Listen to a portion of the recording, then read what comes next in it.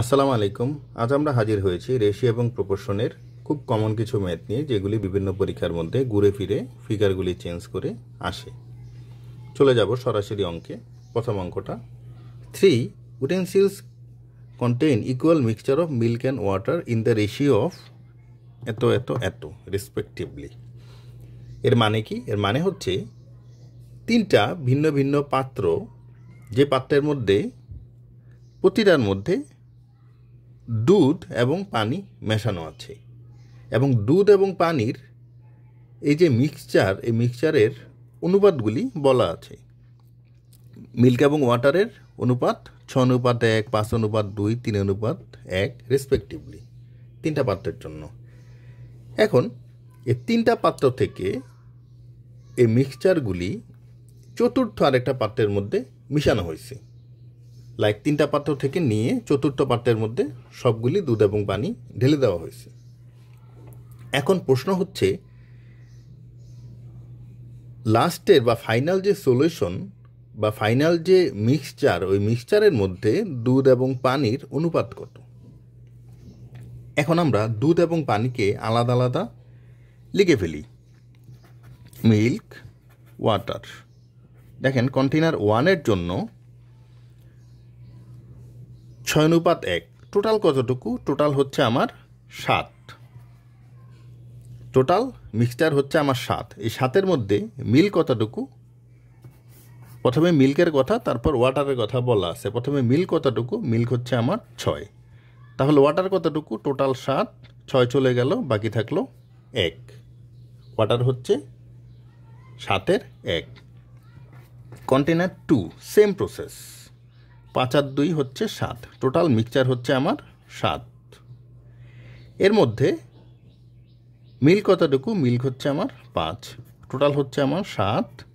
বাকি থাকে কতটুকু? পাঁচ চলে গেল, বাকি থাকে দুই। সরাসরি এখান থেকেও আমি বসিয়ে দিতে পারি। কন্টেনার থ্রির মধ্যে কি অবস্থা? তিন অনুপাত এক। তিন অনুপাত এক মানে টোটাল মিক্সারটা আমার চার। এর মধ্যে মিল্ক কতটুকু? মিল্ক হচ্ছে আমার তিন। তাহলে ওয়াটার কতটুকু হব? ওয়াটার হবে চারের এক। এখন মিল্ক আর ওয়াটার আমি আলাদা আলাদা যোগ দিই। সেটা কত হবে? সাতের ছয়, সাতের পাঁচ, চারের তিন, আঠাশ লসাগু, চব্বিশ, বিশ, একুশ ইকুয়াল উপরে sixty five divided by twenty eight মিল্কেরটা আমি পেয়ে গেলাম ওয়াটারের সাতের এক, সাতের দুই, চারের এক, আঠাইশ, চার, আট, সাত টোয়েন্টি এইট উপরে হচ্ছে উনিশ। এখন দেখেন আমার ফাইনাল মিল্ক এবং ওয়াটারের রেশিও জানতে যাওয়া হচ্ছে।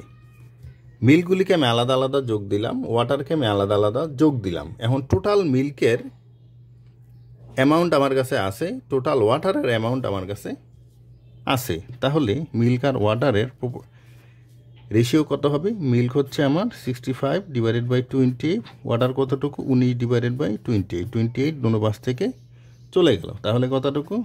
সিক্সটি ফাইভ অনুপাত উনিশ। তার মানে আনসার হচ্ছে আমার অপশন এ খুবই সহজ। এই এই ম্যাথটা আসলে আপনার থিওরিটিক্যালি আসার চান্সটা বেশি, কারণ এটা একটু বড় টাইপের অঙ্ক, আপনার এমসিকিউর জন্য আসতে পারে। তবে প্রসেসটা কিন্তু এরকমই। তারপর দুই নম্বর অঙ্কটা। দুই নম্বর অঙ্কটা হচ্ছে in a class there are thirty two females the ratio of females to male is ষোলো অনুপাত নয়। ফিমেল মেল ষোলো অনুপাত নয়। What is the percentage of female in that class এখন মনে করি ফিমেল হচ্ছে আমার ষোলো এক্স তাহলে ষোলো এক্স মানে হচ্ছে থার্টি টু ফিমেল দেখেন এই অঙ্কের মধ্যে আনুপাতিক না, মান একটা দেয়া আছে, কিন্তু অ্যাকচুয়াল ভ্যালু কিন্তু দেওয়া নাই। অনুপাতের একটা মান দেয়া আছে। তাহলে আমি ধরে নিলাম ষোলো এক্স মানে হচ্ছে থার্টি টু তাহলে এক্স মানে কত? এক্স মানে হচ্ছে আমার দুই। তাহলে ফিমেল যদি আমার ষোলো এক্স হয় মেইলও আমার ডেফিনেটলি নাইন এক্স যেহেতু অনুপাত। তাহলে টোটাল মেইলের সংখ্যা কতটুকু? টোটাল মেইলের সংখ্যা হচ্ছে আমার নয় দুগুণে আঠারো। আর ফিমেল বলা আছে বত্রিশ। এখন বত্রিশ আর আঠারোর যোগফল হচ্ছে আমার পঞ্চাশ। এখন আমার কাছে জানতে চাওয়া হয়েছে what is the percentage of female in that class ওই ক্লাসের মধ্যে পার্সেন্টেজ অফ ফিমেল কতটুকু, কত পার্সেন্ট দেখেন টোটাল নাম্বার অফ স্টুডেন্ট যখন পঞ্চাশ জন, তখন ফিমেলের সংখ্যা কতজন? তখন ফিমেলের সংখ্যা হচ্ছে আমার বত্রিশ জন। টোটাল স্টুডেন্টের সংখ্যা যখন একজন, তখন টোটাল টোটাল ফিমেল কতজন? থার্টি টু ডিভাইডেড বাই পঞ্চাশ। টোটাল স্টুডেন্ট যখন একশো জন, তখন ফিমেল কতজন? সেটাই কিন্তু আসলে পার্সেন্টেজ। ডিভাইডেড বাই পঞ্চাশ। পঞ্চাশ একশোর মধ্যে যাবে হচ্ছে দুইবার, বত্রিশ দুগুণে চৌষট্টি। সেটা কিন্তু পার্সেন্টেজ। তাহলে ফিমেল আর মেইলের আনুপাতিক মান থেকে আমি অ্যাকচুয়াল ভ্যালুটা বের করলাম টোটাল বের করলাম। এখন টোটালের মধ্যে ফিমেল বত্রিশ জন, পঞ্চাশের মধ্যে বত্রিশ বত্রিশ, একের মধ্যে কত, একশোর মধ্যে কত। একশোর মধ্যে কত মানে হচ্ছে পার্সেন্টেজ অফ ফিমেল তারপর চলে যাব, তার মানে আনসার কত? আনসার হচ্ছে আমার ডি সিক্সটি ফোর পার্সেন্ট চলে যাব তিন নম্বর অঙ্কের মধ্যে। একটি দ্রব্য টোয়েন্টি ফাইভ পার্সেন্ট লাভে বিক্রয় করা হলে এর ক্রয় মূল্য ও বিক্রয় মূল্যের অনুপাত কত? মনে করি ক্রয় মূল্য মানে হচ্ছে সিপি মানে কস্ট প্রাইস কস্ট প্রাইস মনে করি আমি একশো টাকা। এখন সেলিং প্রাইস এসপি সেটা কত? টোয়েন্টি ফাইভ পার্সেন্ট লাভে বিক্রি করা হয়েছে, তার মানে কত? একশো পঁচিশ। এখন জানতে চাওয়া হয়েছে ক্রয় মূল্য, বিক্রয় মূল্যের অনুপাত। ক্রয় মূল্য, সিপি, বিক্রয় মূল্য, এসপি, ক্রয় মূল্য। তাহলে ক্রয় মূল্য মূল্য হচ্ছে আমার একশো, বিক্রয় মূল্য হচ্ছে একশো পঁচিশ। তো অনুপাত আমি বের করি, পঁচিশ দিয়ে যদি আমি কাটাকাটি করি, পঁচিশ দিয়ে কাটলে হবে আমার চার, পঁচিশ দিয়ে কাটলে হবে আমার পাঁচ। তাহলে ক্রয় মূল্য আর বিক্রয় মূল্যের অনুপাত হচ্ছে চার অনুপাত পাঁচ। তার মানে অপশন ক হচ্ছে আমার আনসার। ভেরি সিম্পল চলে যাব চার নম্বর অঙ্কের মধ্যে। চার নম্বর অঙ্কটা কি? The ratio of water and salt in a ষোলো kg of salt water solution is তিন অনুপাত এক মানে ষোলো কেজির একটা মিক্সচার কিসের মিক্সচার মিক্সচারটা হচ্ছে ওয়াটার এবং সল্টের একটা মিক্সচার সে মিক্সচারের মধ্যে ওয়াটার এবং সল্ট আছে কতটুকু? তিন অনুপাত এক হারে আছে। তাহলে শুরুতে আমি বের করে ফেলি যে ওয়াটার কতটুকু রয়েছে এবং সল কতটুকু রয়েছে। কীভাবে বের করে? ষোলো গুণ মানে টোটালটা গুণ অনুপাতের যোগফল নিচে চলে যাবে, তিন অনুপাত এক নিচে চলে যাবে। এখন ওয়াটার জানতে যাওয়া হয়েছে, তাহলে ওয়াটারের অনুপাতটা উপরে। তো সেম অবস্থায় তিন আর একের যোগফল হচ্ছে চার। এখন আমি সল্টেরটা বের করব। সল্টের অনুপাত হচ্ছে এক। চার ষোলোর মধ্যে যাবে হচ্ছে চারবার তিন চারা বারো। চার ষোলোর মধ্যে যাবে চারবার চার একে চার। তাহলে ষোলো কেজির যে মিক্সচার এই মিক্সচারের মধ্যে ওয়াটার হচ্ছে আমার বারো কেজি সল্ট হচ্ছে আমার চার কেজি। লিখে ফেলি। ওয়াটার সল্ট ওয়াটার কতটুকু পেলাম আমি? বারো কেজি সল্ট পেলাম আমি চার কেজি।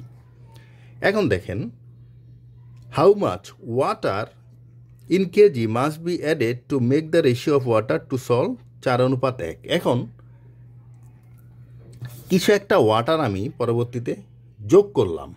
কতটুকু সেটা আমি জানি না। মনে করি এক্স এক্স পরিমাণ এক্স কেজি আমি যোগ করলাম। যোগ করার ফলে ওয়াটার টু সল্টের যে রেশিও সেটা পাল্টে হয়ে গেল। চার অনুপাত এক। এখন আমার কাছে জানতে চাওয়া হয়েছে পরবর্তীতে আমি কতটুকু ওয়াটার যোগ করেছি? তার মানে এক্সের ভ্যালুটা আমার ডিরাইভ করলেই কিন্তু হয়।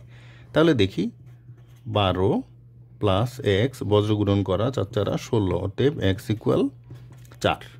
তার মানে পরে কতটুকু আমি ওয়াটার যোগ করেছি? পরে আমি ওয়াটার যোগ করেছি চার কেজি মানে অপশন সি হচ্ছে আমার আনসার সিম্পল প্রথমে ওয়াটার আর সল্টের সলিউশন মিক্সচার থেকে আমি কতটুকু ওয়াটার ছিল, কতটুকু সল্ট ছিল সেটা আলাদা আলাদা বের করে ফেললাম। তারপর কতটুকু ওয়াটার আমি যোগ করেছি সেটাকে এক্স ধরে বজ্রগুণন করে কিন্তু সহজেই আমি বের করে ফেললাম। চলে যাব পাঁচ নম্বর অঙ্কের মধ্যে। এবিসি ক্রমিক সমানুপাতি হলে নিচের কোন সিদ্ধান্তটি সঠিক? ক্রমিক সমানুপাতিক মানে কি? এর সাথে বিয়ের যে সম্পর্ক এ বি সি ক্রমিক সমানুপাতিক মানে হচ্ছে এর সাথে বিয়ের যে সম্পর্ক বিয়ের সাথে সি এর সেই সম্পর্ক। তার মানে a divided by b equal b divided by c মানে এ আর বি যেই অনুপাত মেনটেন করে চলে বি আর সি একই অনুপাত মেনটেন করে চলে। তাহলে দেখেন, যদি আমি ক্রস গুণন করি এসি ইকুয়াল বি স্কোয়ার কোন অপশনটার সাথে আমার মিলে? অপশন গয়ের সাথে আমার মিলে b square equal a c তাহলে অপশন গ হচ্ছে আমার আনসার ক্রমিক সমানুপাতি মানে হচ্ছে প্রথমটার সাথে দ্বিতীয় দ্বিতীয়টার যে সম্পর্ক, দ্বিতীয়টার সাথে তৃতীয়টার ওই সম্পর্ক। চলে যাব লাস্ট ওয়ান ছয় নম্বর অঙ্কের মধ্যে। The fourth proportional to point two point one two and point three is fourth proportional মানে চতুর্থ সমানুপাতি। চতুর্থ সমানুপাতির এই ধরনের অঙ্কের মধ্যে কীভাবে আমি সলিউশনের পথে আঁকাবো দেখেন, এটা হচ্ছে প্রথমটার সাথে দ্বিতীয়টার যে সম্পর্ক, তৃতীয়টার সাথে চতুর্থটার সেই সম্পর্ক।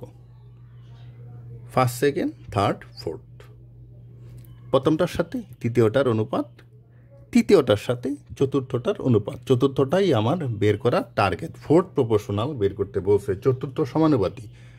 তাহলে এখান থেকে এক্সের ভ্যালু জাস্ট ডিরাইভ করব। ক্রস গুণন করি zero point two x equal zero point three into zero point one two অতএব x equal point three into point one two divided by point two এক্সের ভ্যালু আমি বের করি, দশমিক উঠিয়ে দিলাম, নিচে দশ দিয়ে গুণ দিয়ে দশমিক উঠিয়ে দিই, দশ দিয়ে গুণ দিয়ে দশমিক উঠিয়ে দিই, নিচে একশো দিয়ে গুণ দিয়ে দশ দশ চলে গেল। তা তিন বারোর মধ্যে যাবে হচ্ছে ছয় বার।